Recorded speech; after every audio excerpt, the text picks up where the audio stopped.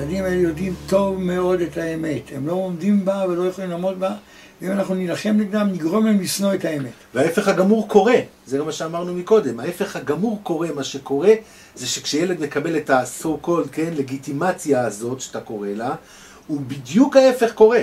הוא לא נאחז, הוא לא נאחז בקרנות המזבח, והוא לא נאבק את המאבק המטופש והמיותר הזה, לא צריך. הוא עושה דרך הפוכה, הוא מנסה ליישר קו, הוא מנסה לעשות את מה שהוא יכול, כי הוא לא יכול לעשות את מה שהם רוצים שיעשה, אבל הוא יכול לעשות מה שהוא יכול כדי ל- ל- ל- לנסות ולהתיישר, כי יש אהבה בבית ורגוע בבית ונעים, והוא כמו שהוא אהוב.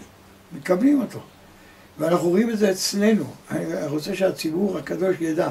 אנחנו לא נותנים תיאוריות. בתוך המשפחה שלנו יש לנו נכדים שיהיו בריאים. יש לנו חתני נכדותינו שהיו באותו מצב, והם יהודים צדיקים, הם נוער, אנשים צעירים כבר. אני, איזה סיכוי היה לי, נכון. איזה סיכוי היה לי, לי פעם בכלל ל- לנסות לרכך את, ה, את, ה, את, ה, את, ה, לרכך את המקום הקשה הזה, את, ה, את היבלת הבלתי נסבלת. לא היה שום סיכוי. אם לא הייתי עטוף ב, ב, ב, ב, באהבה שלא תלויה ולא לא, לא מתנה את האהבה, לא, לא מותנית בכלום, לא היה, לא היה שום סיכוי. היום הייתי נראה כמו, לא יודע מה.